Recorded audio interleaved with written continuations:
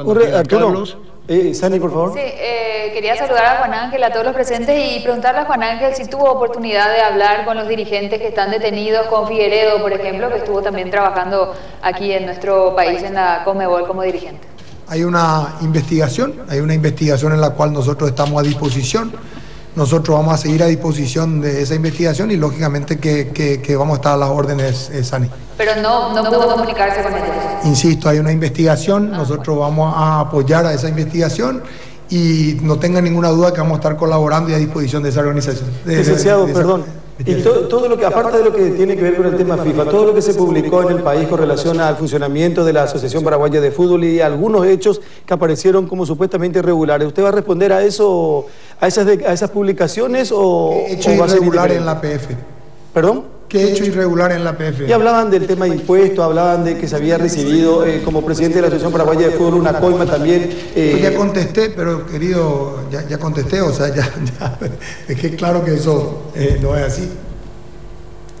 eso es eh, categoría. Yo me refiero exclusivamente a la Asociación Paraguaya de Fútbol, licenciado. Por eso te estoy diciendo, la Asociación Paraguaya de Fútbol también ayer Ale declaró que está abierta. Y te, te vuelvo a decir, yo estoy a disposición de, de- de lo que quieran preguntar, a disposición de, la, de, cualquier investigación, sea donde sea, sea en Uruguay, sea aquí, sea donde sea, a disposición. Claro, el tema, Carlos, lo- a lo Carlos lo pregunta, lo decían hablando Ariel y Andrés compañeros, el tema del depósito que se le hizo a las asociaciones. Se ha hecho. eh, Pero si me no, si me permitís, no que- quiero decir sobre eso. Quiero, quiero, eh, todo está documentado y fue publicado inclusive por última hora y por varios medios. Está, está total y absolutamente coinciden totalmente los depósitos por las distintas copas. Coinciden totalmente entre la PF y la Comebol. Está todo documentado y ha sido publicado por el diario Última Hora. Bueno, in extenso. El- sobre esta pregunta, eh, sigue, señor, eh, ¿está siguiendo, señor Valdés? el tema más- del- más o menos, Bueno, bien el tema, el tema de los ciento, ¿cuánto? ¿Cuánto? Para- y perdón si insisto y que me disculpe Juan Ángel a la pregunta que le hacía Carlos también y los compañeros. El depósito que se le hizo de Umi, ¿cuánto? Supuesto depósito, digamos. 3 millones de dólares. millones de dólares aparecen en la cuenta de la APF. Y la cuenta de la Asociación Uruguaya aparece. Lo mismo. ¿Y qué hacen con ese dinero? No, es un dinero que la Confederación, es decir, este, paga y asigna por diferentes rubros por participar en Copa América. Hay parte de premios, hay parte que da para gastos, hay parte que da para desarrollo de las propias federaciones. Pero lo que hay una confusión, que una pregunta anterior, Sí, por favor. es decir, es en cómo se está encarando este tema. Lo que entra a las diferentes federaciones, por lo menos hablo por la uruguaya, Y las paraguayas entra, eh, digo, no, no digo, no digo que no porque no conozco la- el funcionamiento de la Federación Paraguaya, pero digo, hablo por, por mi federación. En la Asociación Uruguaya de Fútbol, todos los dineros ingresan por una cuenta bancaria en el cual son giradas por la Confederación Sudamericana de Fútbol. O en el caso de los mundiales son giradas directamente a las cuentas de FIFA ¿Bajo qué concepto? bajo los conceptos que vienen. O sea, si, hay, si son premios, son premios, si son gastos para desarrollo, gastos para desarrollo. Y lo que se está hablando acá, y me parece que hay una confusión, es que en el expediente no se menciona un soborno a ninguna federación, sino que se menciona a determinadas depósito. depósitos de determinadas federaciones. Se, se- se está mencionando, es decir, depósitos a personas. Pero Entonces, habla de vuelvo a... re- de bueno, pero está bien, pero digo, eso está en el marco de una investigación, en la cual, es decir, si se prueba culpabilidad, será responsable el que, el, que cometió el acto, y si no se prueba, será inocente. Pero digo, lo que estoy eh, intentando aclarar, que creo que se- muchas veces es importante, se confunden los conceptos, es que se mezclan las federaciones con las personas y no es así. Las federaciones reciben el dinero que reciben por los conceptos claros que lo reciben, que son los premios por participar en las copas, que son gastos para desarrollo y gastos también para su preparación para las copas. Eso es clarísimo y además no lo digo yo. Es como dijo el presidente hace un ratito, está todo documentado. Si van a la Uruguaya de Fútbol, van a ver los ingresos como son y por qué concepto. Y seguramente si van a la Paraguaya, y recién este llegó Alejandro acá, también va Bueno, de tal manera que hay con Telefuturo, con Monumental. Alejandro, ¿cómo te va?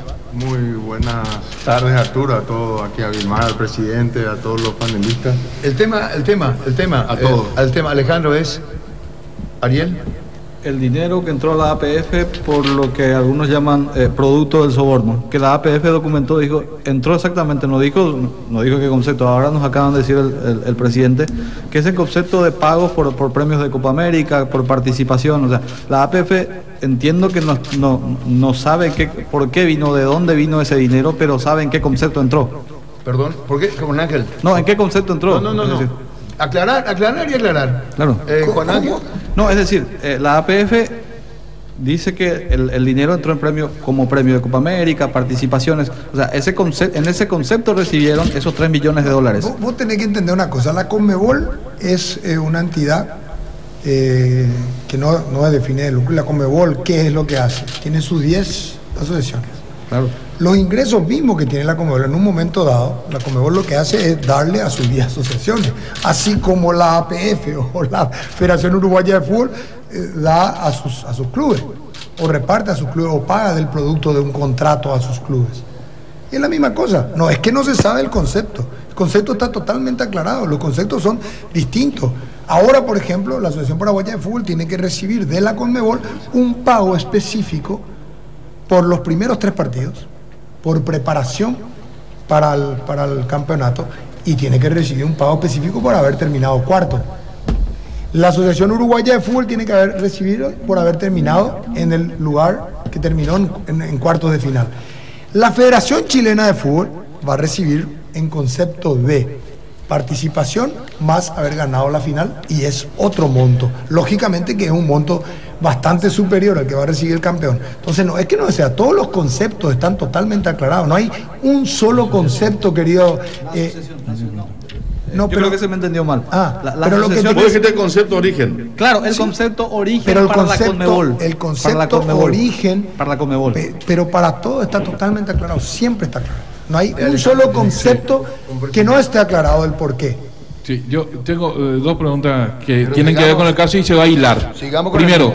¿quién era en ese momento del 2013 el presidente? Yo. ¿Todavía era Juan Ángel Lapú Yo, o ya? yo Juan Ángel el Lapú, correcto. Bueno, entonces, el, eh, para dejar claro y hacerla corta, los 3 millones de dólares que dice la investigación que supuestamente eh, fue en concepto de coima, esa plata entró a la APF en otros conceptos realmente. Entró en los conceptos que, que tiene No, no, que no, pero, o sea, eh, entró, no, no existe... No, entró a la PF como tiene que entrar A ver, todo a lo ver que si me llega a la explico. Conmebol. Eh, se trata de los mismos 3 millones de dólares que supuestamente habla Eso, la eso está, eso está en la, en la, en la APF. Porque coinciden las cifras.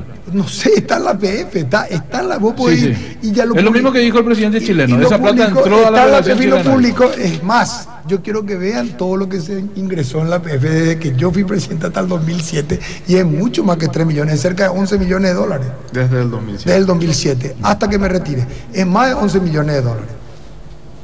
O sea, no es 3 millones de dólares lo que ingresó, son casi 11 millones de dólares. No, de, de la fecha, de 2013. De 2007 hasta eh, el 2014 que Entendemos, me retiré, presidente, hay pero más de en 11 la investigación habla de, del 2013 al momento que se firmó el contrato con Datiza. Está y todo entonces, documentado. eh, Está- en está documentado. los documentos de la Comebol figura ese depósito de Está, 3 total- millones. está todo documentado.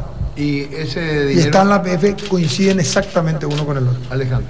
No, yo antes que nada quiero aclarar eh, de que una cosa es Conmebol y sus ingresos, otra cosa es Conmebol y asociaciones y nuestros ingresos. La Conmebol recibe y reparte. Entonces, si está eh, por un contrato firmado plata en Conmebol y después viene a las asociaciones, es en concepto de ese contrato que se firmó.